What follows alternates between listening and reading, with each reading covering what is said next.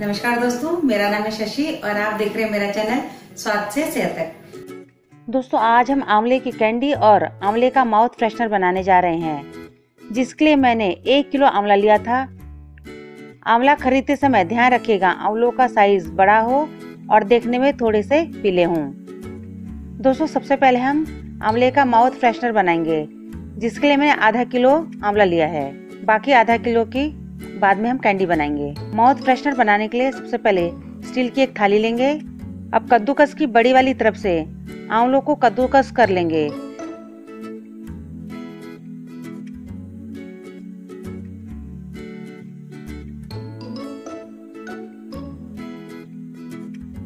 यहाँ हमने सभी आंवलों को कद्दूकस करके रख लिया है।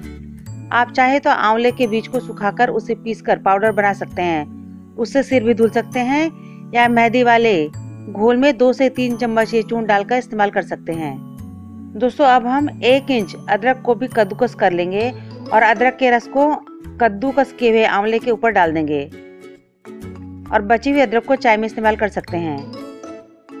अब आंवले के ऊपर थोड़ा सा सफ़ेद नमक भी डाल देंगे और सभी सामग्री को आंवले में अच्छे से मिक्स कर लेंगे। ऊपर से एक नींबू का रस छिड़क देंगे।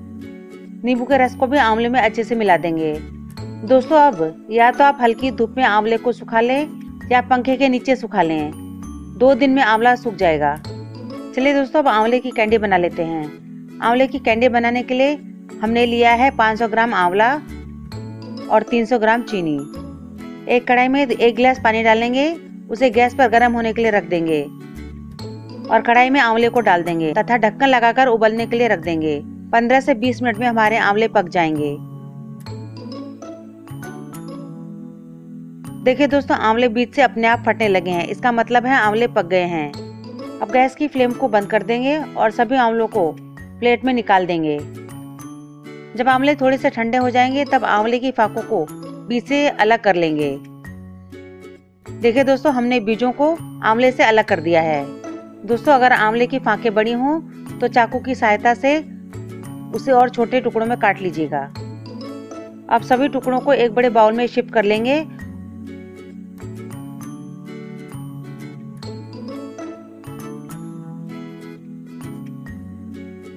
और उसके ऊपर चीनी बिछा देंगे। और ढक्कन लगाकर 24 घंटे के लिए छोड़ देंगे। 24 घंटे हो गए हैं, चलिए चेक कर लेते हैं। देखिए दोस्तों, चीनी ऊपर से एकदम खुल गई है और चाशनी जैसी बन गई है। आंवले ने अच्छे से चीनी को एब्जॉर्ब कर लिया है। अब आंवले को छानकर चाशनी अलग कर लेंगे।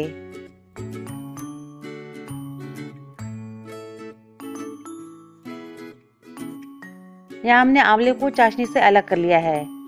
उसे स्टील की प्लेट में फैला लेंगे और धूप में सूखने के लिए रख देंगे।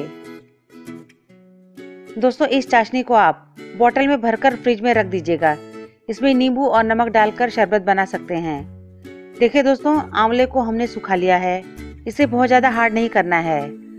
दोस्तों, अब इसमें पिसी हुई चीनी डाल देंगे, जिससे आंवले की कोटिंग हो जाए। अब एक छन्नी की सहायता से आंवले में से एक्स्ट्रा चीनी हटा लेंगे। अब हमारी कैंडी बनकर तैयार है। दोस्तों, आंवला जो हमने कद्दूकस करके रखा था, वो सूख गया है। देखिए, हाथों से एकदम नीचे गिर रहा है। हमारा आंवले का माउथ फ्रेशनर एकदम तैयार है। ये साल भर तक खराब नहीं होगा।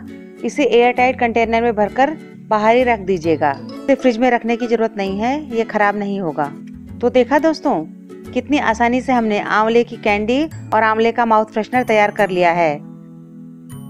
दोस्तों, आज की वीडियो अगर अच्छी लगी हो तो वीडियो को लाइक कीजिए शेयर कीजिए, मेरे चैनल को सब्सक्राइब कीजिए और हाँ बेल आइकन को दबाना मत भूलेगा thank you so much for watching take care bye bye